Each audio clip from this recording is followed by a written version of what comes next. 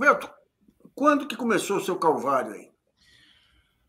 Olha só, em 2014, né? Em 2014 foi quando a gente recebeu a autuação lá né, do, do Ministério Público, dizendo que havia uma ação contra mim, é, junto com a empresa que eu, com quem eu trabalhava na época. E se decorreu, a gente tentando de todas as maneiras provando que não existe, como, que não havia, e como não há, em nenhum desses processos que eu fui é, notificado aí, é, documentação que prove a minha, a minha ação em qualquer, em qualquer desses atos ilícitos que ocorreram no passado aí. Nenhum. Quando eu falo a isso, empresa, é nenhum, nenhum. A empresa qual era e qual, e qual era a acusação? A empresa que eu trabalhava chamava-se Mendes Júnior Trade Engenharia SA. Né? É, eu fiquei no, durante, nela trabalhando durante 29 anos. Me aposentei em 2011 nela e depois fui trabalhar em outra empresa no Rio de Janeiro, a Carioca Engenharia. É, mas então, em função de terem buscado a Mendes Júnior, que algum, o, diretor, o vice-presidente e um outro elemento confessaram que haviam feito coisa, atos ilícitos, o Ministério Público, no afã de querer pegar mais gente, me colocou, relacionou, porque hoje, vendo, eu era uma pessoa que era conhecida no mercado. O mercado que diz assim, o mercado de óleo e gás.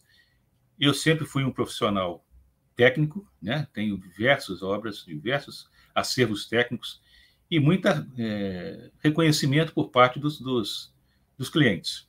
Havendo até alguns casos em que a obra só era fornecida, só era entregue né, para a Mid Júnior, no caso, que eu fiquei 29 anos, se eu fosse o comandante dela na parte técnica. Mas isso não valeu em nada. Né? No fundo, quando a, a gente contestou, fez todos os recursos possíveis e impossíveis, né?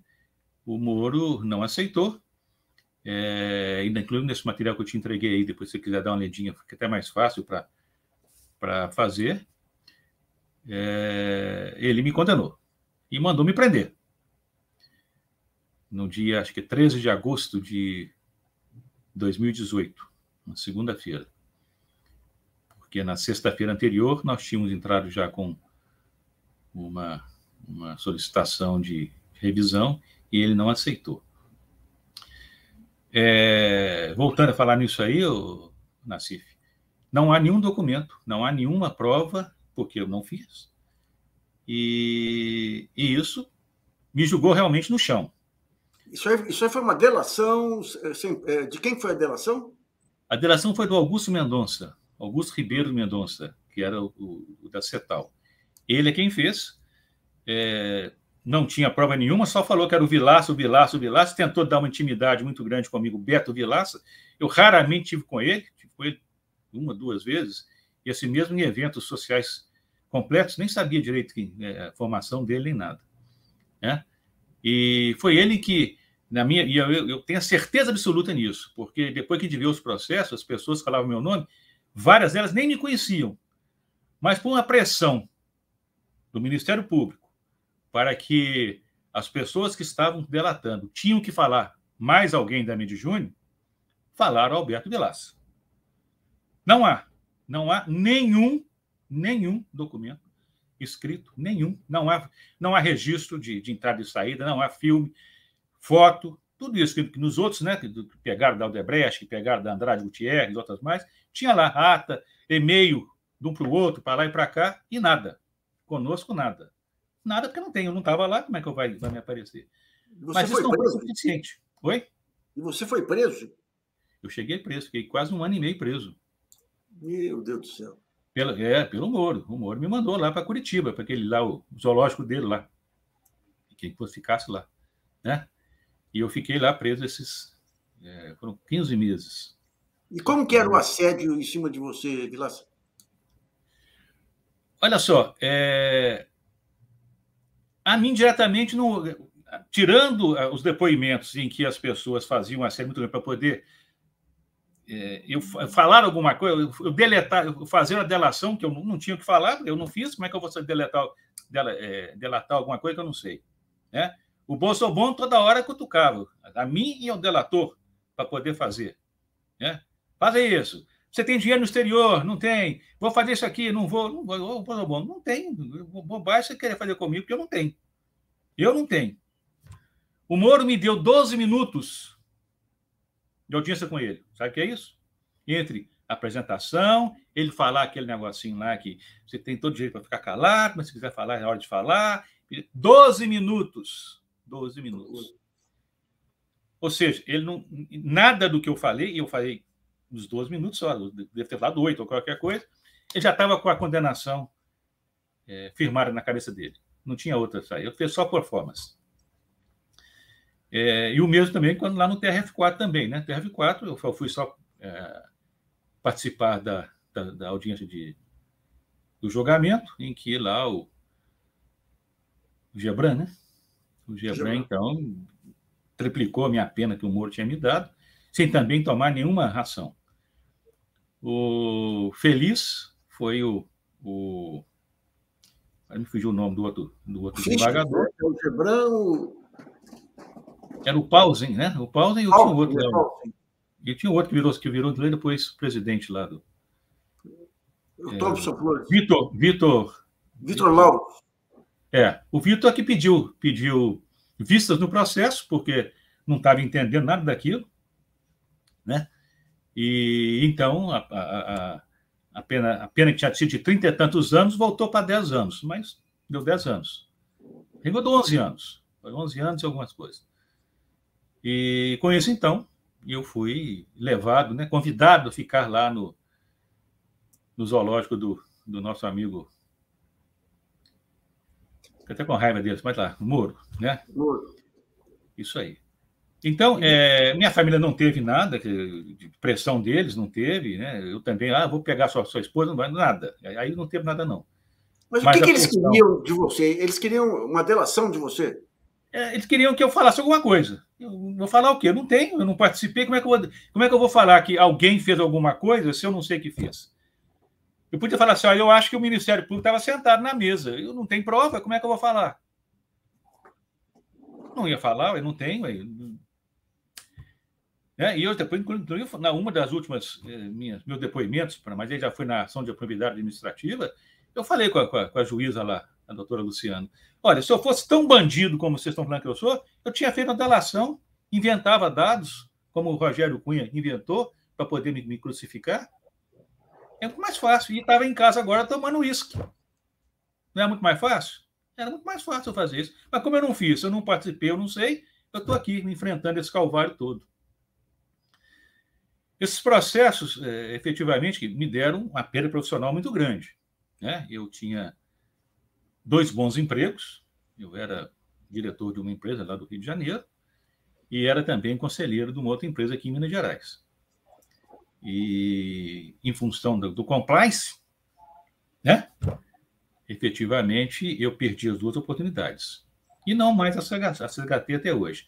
Até porque, voltando à mesma questão do compliance aí, toda vez que você é, busca alguma oportunidade nova e hoje as maiorias empresas né, de grande porte são sempre é, donas, são, são sempre é, de alguém lá de fora que tem, tem participação, eles vão olhar o compliance, olha meu nome, está na Lava Jato.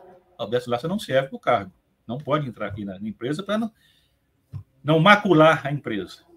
Então, isso é uma coisa que foi efetivamente muito ruim. Né? Muito ruim. Agora, como é que, que, que, que transitou aí o seu, o seu processo? apelação? É, eu tenho, é que eu estava falando aí, né, que eu mandei para você aí, eu tenho, na, na, criminal lá, que era do Moro, eu tinha três, três processos. O primeiro processo era baseado no Paulo Roberto Costa. O segundo processo era baseado no Renato Duque. E o terceiro processo era a questão da, do cartel. É, o primeiro processo, o Moro me condenou, ele foi lá para o TRF4, o Gebran fez essa gracinha também, nem leu nada da, da, das nossas argumentações. É, para você ter ideia, o, a, a, a, o veredito do, do, do Gebran é que a Mendes Júnior tinha feito um, uma, uma, um acordo de leniência e que eu tinha feito a delação. A Mendes não fez e eu não fiz. Isso está nele lá. Eu recorri, nós recorremos à, à vice-presidência lá do TRF4, a mulher ratificou a posição do Gebran, dizendo que a Mendes Júnior tinha feito coisa leniência e que o Alberto Vilaça tinha feito a delação e que realmente ele era culpado. E isso não valeu. Fomos ao Supremo, né? É, o Supremo rodou, rodou, rodou, mas não, que não nos aceitou nada, ainda está lá, ainda não está. Já tem a decisão que concorda com, com o TRF4, mas ainda não está é, sacramentado, não. Falta vista, eu acho que do Ministério Público ou qualquer coisa que o valha. Faquinha, e nós já entramos lá? E nós já entramos lá com, com, com, com uma, uma. Como é que chamam? Um habeas corpus lá no STF, né? Porque não é justo isso aí. E além disso, aí vem as outras duas ações, ela, tanto o próprio. O Bonar, tá aqui, o Bonar, depois o Apio e a Gabriela Hart falaram que esses, esses outros processos não eram de competência da terceira vara. Ou seja, o segundo processo, que eu tenho o mesmo objeto do primeiro, mudando só o Paulo Roberto para o Duque, o Moro achou que tinha, que ele era o todo-poderoso. E os outros dois substituíram falaram que não. Devolveram o processo, mandaram o processo lá para a Justiça eh, Eleitoral lá do, do, do de Brasília. Né? Agora, é, voltando um pouquinho, Ulisses, o que, o que é importante falar aí com você é que, por falta de provas, o Ministério Público fabricou, tentou fabricar provas contra mim. O que, que ele fez? Sem conhecimento dos delatores, eles anexaram uma cópia de uma lista, lista de ligações telefônicas, né, conta telefônica, em que havia é, telefonemas meu com funcionários da CETAL seja lá o, o, o próprio Augusto, seja lá o, o presidente da empresa, que era o Maurício Godoy, ou seja, o outro diretor, que era o. o esqueci o nome dessas pessoas, que eu não nem mais falar nisso, né? que era o Marcos Berti. Hum. Mas tem que se levantar em conta, tem que se levar em conta, isso foi colocado, foi, foi colocado, explicado, tudo mais, e não foi aceito, que a Mendes Júnior tinha uma, um consórcio com a, com a Cetal. Eu era o responsável técnico da, da Mendes Júnior. Isso, os próprios funcionários da Cetal, tirando o, o Augusto, falaram: não, as nossas ligações com o Vilaça sempre foram técnicas. Nós tínhamos um processo para andar, para tocar uma obra, tanto do Paraná quanto lá de, da Replan. Então não tem nada, não existiu nenhuma conversa nesse aspecto com, com, com Alberto Vilaça. A, prova, a, a, a, única prova que o Ministério Público apresentou foram as ligações telefônicas. É, o que ele fala, ele se baseou 100% na delação do Augusto Mendonça. Tá. tá? Depois, como eu, eu, nós falaram, acha um documento, eu, até hoje, acha um documento que tem meu nome, acha uma, uma, uma anotação, acha um e-mail, acha uma foto, nada, não tem. Eu não estava, como é que eu fiz? Aí o Ministério Público foi, vasculhou as contas do, do Augusto Mendonça, do Maurício é, Mendonça também, os dois são primos, né? e, do, e do Marcos Berti, e anexou na delação do Augusto.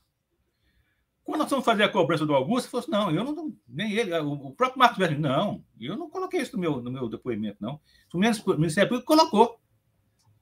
Olha só. Quem Olha, que era o procurador? Esse é, era o. Bom, o que estava sempre na, na, na, na, frente era o Pozobon. Pozobon. Robertson Pozobon. É ele que estava. Ah. Mas os outros também, né? Os também estavam sempre lá. O, né? Essa cambada aí que hoje sumiu tudo. Cadê eles? Cadê o, os, os, os, detentores da, né? da República lá de Curitiba?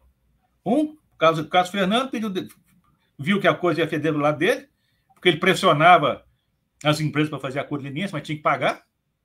É, isso depois você fica, você fica escutando, o próprio advogado da Mendes Júnior falou isso. Não, mas a Mendes Júnior não tinha dinheiro, então ele não quis fazer. Ele não Como quis é que é? fazer... é? Como é que é o negócio? O acordo de leniência?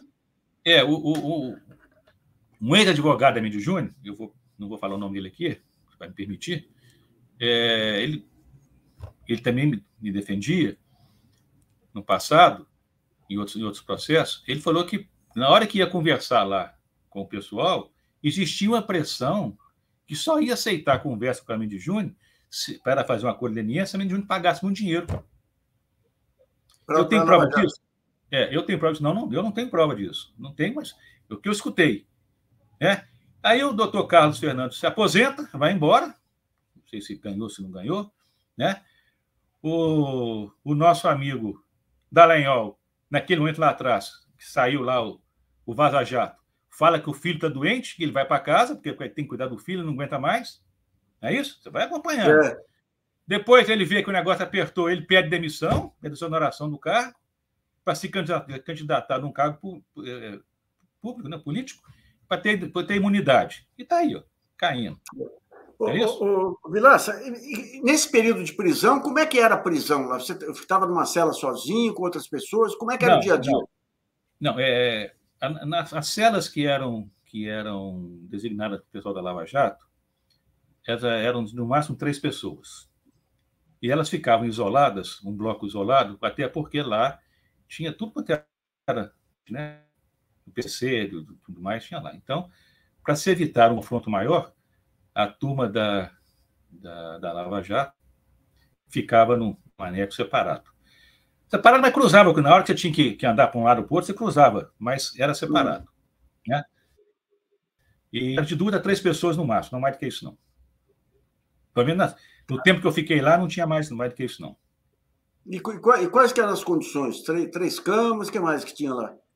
Não, eram, eram três camas, eram três é, estrados de concreto, né? Em que você recebia um colchão, um colchonete, tinha lá no fundo o vaso sanitário, sem porta, sem janela, sem nada, era, efetivamente. Só lá em cima tinha um basculante. E, e uma pia, né? Uma pia para você fazer, escovar dente ou fazer qualquer coisa, lavar. Quando você recebia lá o seu talher, ganhar, ou recebia alguma alguma comida, comida da, da família, tudo mais, você podia fazer lá, lavar lá. E tinha também é, bom, tinha isso, um tanque. Era um tanque, uma roupa, qualquer coisa disso aí. Tá. E caiu então, o seu delator, o que aconteceu com ele? O Augusto? É. O Augusto Mendonça, ele pagou lá, um, acho que uns 5 milhões de reais, e depois. Tá, eu acho que tá solto aí, tomando o seu Luiz, claro, no para baixo. Eu não, eu ele saiu com muito dinheiro. Ele era dono das empresas, né? segundo ele, né? Porque depois ele falava que ele era dono, e quando você ia lá na, na CETAL, ele não era dono. Ele era consultor. A mentirada do, do Mendonça foi total. 100%. Né? Hum. Até porque não tinha. Inventou coisa e não tinha. Né? E eu sei que ele está tá em casa, solto. Se está com tornozeleira ou não está, eu não sei. Aí não sei. Esse, esse caso, não sei. Você está com tornozeleira? Não, não, não. Eu não estou, não. Eu não, só fiquei esse, esse, esse prazo lá né? E depois, em função daquela votação lá da última instância, é que nós saímos. Só por conta da. Ah, tá. Tá. Aquele último voto. lá, e, e, no Supremo, quem que recebeu a, a, a, o, seu, o seu processo? Foi o Luiz Edson Fachin? Não, o Supremo foi agora, né? Nós primeiro no STJ, né? Ah, no STJ. É, agora que foi para o Faquin. Agora, mas no STJ é. era, o, era o Félix Fischer. Era o Félix Fischer. Exatamente, ele também. Que não que fomos lá conversar com ele. Ele, ah, sim, senhor, sim, senhor, muito bem, vou anotar, tal, tal. Nada. Não, não esclarece. Não, segundo, eu não eu, eu doido para ir, o advogado não, tá, não deixava eu ir, não. Né? Falar que o, o, o, o, juiz lá não ia deixar sem entrar. Né? O ministro lá não ia deixar sem entrar. Aí é, foi inócuo com todos eles conversando, foi nó. O advogado nosso, você teve a oportunidade de conversar com ele, né? É o Leonardo Marinho. Você foi lá e nada. O Faquinho sentou em cima, e é isso mesmo. E... Faquinho não, o, o Fischer. O Fischer. Faquinho ou Fischer? Tá. Não, não, não, o Fischer, o Fischer, o Fischer, desculpa. Tá. O Faquinho é... agora recebeu o habeas corpus, porque, como já tá, estaria próximo para sair a decisão lá do STJ, né? Então, acho que saísse, o, E até por conta disso, porque se todas as outras ações na 13 vara não tinha competência para poder fazer, por que, que é que o Moro mandou? Tinha. Então, esse novo é que mandou, que está substituindo o Fischer, é que falou: olha, falou, falou com o nosso advogado, procura outro, outro negócio, já vai, já recorre lá para o STJ, STF, porque já tramitou tanto aqui que eu não tenho como retornar. Normalmente hum. a conversa foi essa. Né? Não, não foi assim nessa simplicidade que você conhece bem, mas foi mais ou menos isso. Né? Vilas, e a sua família nesse período, como é que foi? Sofrida, né? Eu tenho quatro filhos, os quatro filhos foram muito bombardeados. Minha esposa sofreu demais, coitada, teve uma, uma depressão grande também, né? Ah, o deslocamento era longo, Belo Horizonte para Curitiba, não é voo direto, né? não tem horário, voo toda hora. Então, sofreram bastante, todos eles, né? É, um deles, inclusive, prestava serviço para uma outra empresa, para, para a Petrobras. Um dos fiscais da Petrobras, que me conhecia, fez uma, uma declarações indevidas para meu filho com relação a mim, né? É, me, me, criminalizando tudo que era possível. E meu filho foi tranquilo, ficou calado, porque me conhecem, efetivamente, meus filhos sabem da minha índole. Não tem, eu não sou. E quem me conhece mesmo, e são poucos hoje que estão do meu lado, efetivamente, né? Porque isso, isso é igual uma doença, uma doença na lepra né? Quem, quem, quem te bajulava quando você tinha poder, né? os, os, que é. mais te bajulavam quando você tinha poder eram os que mais fogem quando... Não, não tem. É impressionante. Quer dizer, se eu ligar, pode ser até, até, até que atendam. Acho que eu pedi meu telefone, vários desses. Não foi pedir de propósito, não, mas vários desses dos meus colegas que eu, com quem eu conversava, eu não tenho mais o número deles. Né? Mas, é, pela vida profissional, fui por água abaixo, não tenho, né? Nada. Estou com tudo bloqueado até hoje. Tudo. Tudo bloqueado. Né? É, aguardando aí acabar mais essa última lá da, do SDJ lá, para ver se a gente consegue liberar alguma coisa aí. Pra você ter ideia, até os meus rendimentos de aposentadoria foram bloqueados e arrestados pelo Moro, que é proibido. Que não é isso? Você sabe que previdência não é, não, não pode ser, não pode ser. Mas o doutor Moura era o paladino da justiça e ele fez essa questão lá. Mica, essa questão da, da, da o Bom, o que, que ele, quando ele ia, ia coçá-lo, o que, que ele queria? O que, que ele eh, queria forçar uma delação? O que, que ele pretendia? Se, se você olhar aí, depois, na hora que você tiver tempo, você lê o que eu te mandei, que você vai ver aí. O Moro falou assim: por que, que a Mendes Júnior não fez o acordo leniense? Está hum. lá, no, tá, tá, no depoimento, está na decisão dele. Ou seja, o que, que você não veio fazer? Eu vou, vou te ferrar. Agora, vou fazer um parênteses. O vice-presidente falou que fez, é, contratou, pagou dinheiro, né? Para empresa de fachada. E o operador também, que é o Rogério Cunha, que nós já conhecemos da vez passada, também falou que fez. Os dois fizeram. Os dois tiveram, eram pela Mendes e fizeram contratos aí com, com empresas do, do de, de fachada.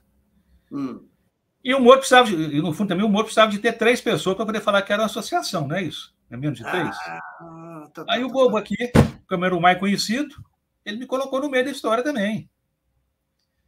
Não hum. tem outro sentido, Nassif, não tem outro. Porque se você não tem nada contra mim, tem um cara falando, olha, o Vilaça é o, é o fulano. Mostra a prova. Não tem. o Vilaço participar das reuniões de, de, de, de, cartel. Você já viu ele alguma vez? Não. Então, como é que você sabe que ele estava lá? Não, mas era ele que era o homem da Mídia Júnior. Se, se, se, o, Augusto estava na, reunião de cartel e não me viu, como é que sabe que eu quero do, do cartel?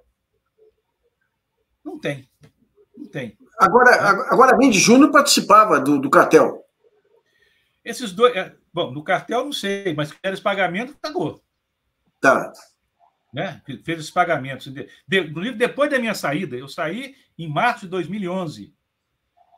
Essas, essas tratativas todas foram em julho, agosto, setembro de 2011. Não obstante, o Ministério Público falou, e o Moro também, não, mas quem fez as coisas foi o Vilaça, porque o Vilaça que estava nas obras.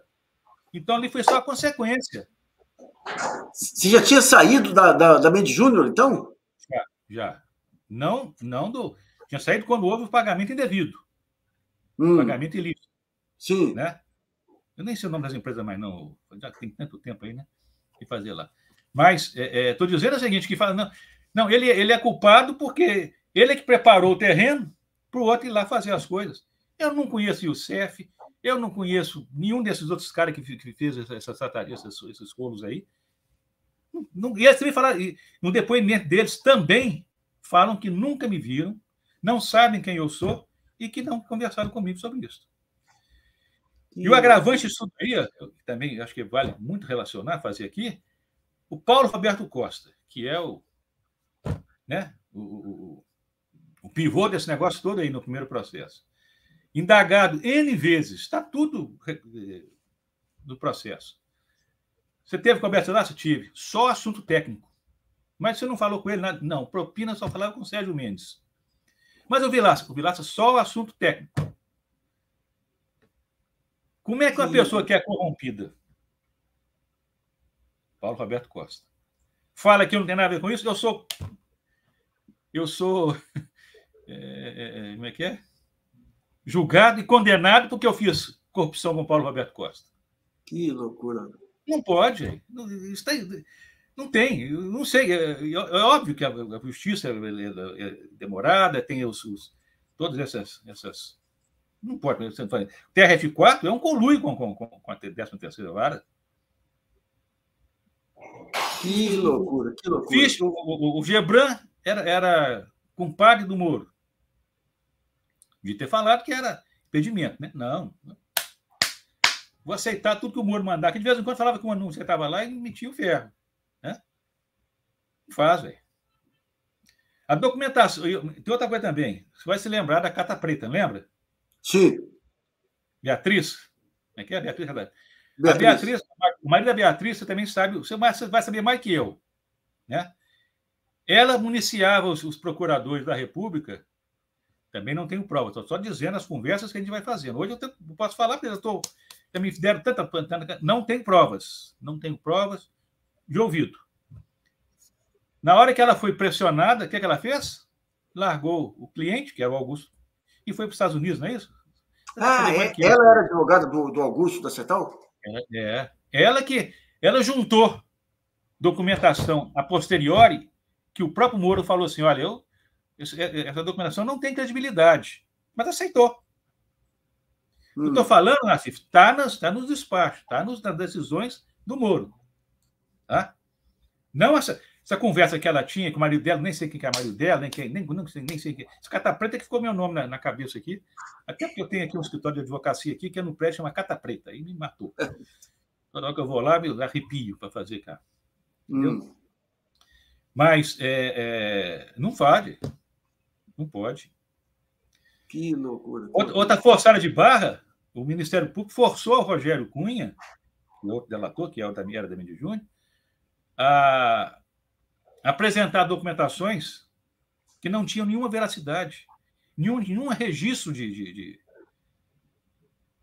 E se instigou o, o, o, o Rogério para o Rogério apresentar e-mails que ele deve ter montado.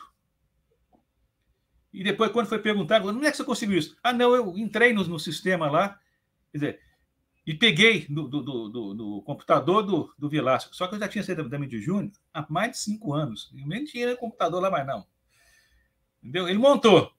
E, no entanto, o Pozobon aceitou, instigou, coloca no processo, coloca, coloca no processo. O Rogério colocou. Ah, tá vendo que tem, tem, tem e-mails aqui. Prova que é meu, prova que, tem, tem, que, é, que é verídico. Não é, porque não foi. E mais isso, e o Rogério ainda fala: não, eu, é outro lado também, que devia ter sido descartado isso aí. O Rogério, se conseguiu. A minha disse uma coisa errada. O Rogério estava fazendo delação e, o Rogério, e a minha deixou o Rogério ficar dentro da casa dentro da Mendes Júnior, pegando informações da Mendes confidenciais para ir contra a Mendes Júnior. Isso é uma coisa tá. falha grande da Mendes Júnior.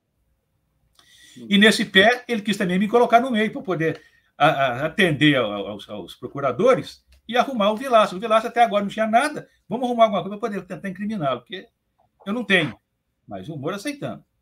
Né?